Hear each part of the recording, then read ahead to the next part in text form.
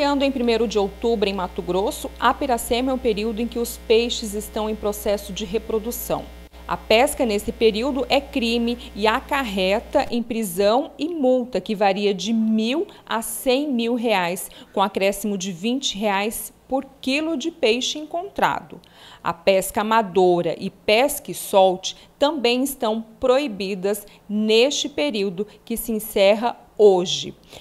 Cláudia, é, de que forma que teve início este período de proibição, no caso Apiracema, no estado de Mato Grosso? É, o período de proibição de pesca no estado de Mato Grosso deu-se início no ano de 2015, porque foi devido ao comportamento reprodutivo dos peixes e também começou a notar-se a escassez de algumas espécies nos rios estaduais, né?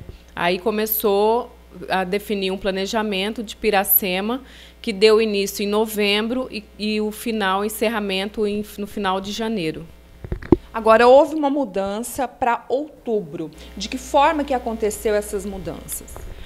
É, foram feitos estudos né, pelo Conselho Estadual de Pesca e descobriu-se que algumas espécies se reproduziam, começavam essa reprodução em outubro.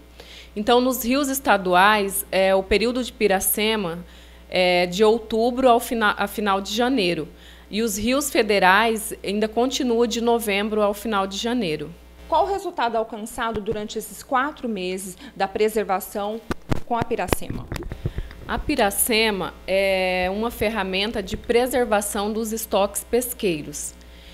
Nesse período é feito o conscientizações ambientais, falando da importância de preservar as espécies, né? preservar esse período reprodutivo dos peixes. E o Conselho Estadual de Pesca fez um estudo que aumentou significativamente as espécies de peixe nos rios estaduais. Então, ou seja, depende da conscientização ambiental, depende também da fiscalização ambiental que o Estado faz durante todo esse período, né, com o aprendimento de pescado regular, fora do período de pesca. Então, depende muito de cada um, da conscientização da população sobre a importância de preservar o meio ambiente e, e a importância de preservar esses estoques pesqueiros na região de Mato Grosso. A partir das zero horas de 1 de fevereiro, a pesca está liberada nos rios de Mato Grosso, nos rios federais que passam por mais de um estado. A pesca também estará liberada nos trechos que percorrem o território mato-grossenses. No entanto, em regiões de divisa com outros estados em áreas de preservação permanente, a pesca continua proibida. A Secretaria de Estado de Meio Ambiente, a SEMA, disponibiliza em um site um mapa identificando os rios federais de divisa e sua localização, além dos trechos de rios com áreas de proteção integral, incluindo em Vila Bela da Santíssima Trindade. As expectativas são as melhores no comércio de produtos e equipamentos para a pesca, como destacou esse empresário do ramo. Estamos aí na expectativa, preparado com muito material promocional, atender os nossos clientes amigos e, e fazer uma boa pescaria quatro meses parados, sem a pesca, é necessário a conscientização também, né, Agnaldo? Verdade. O, o, pessoal mudou muito, viu? Hoje os pescadores desportistas, a intenção deles é ir no rio, pegar o peixe e soltar o animal. Isso é gratificante para todos nós que, que amamos a pescaria, né?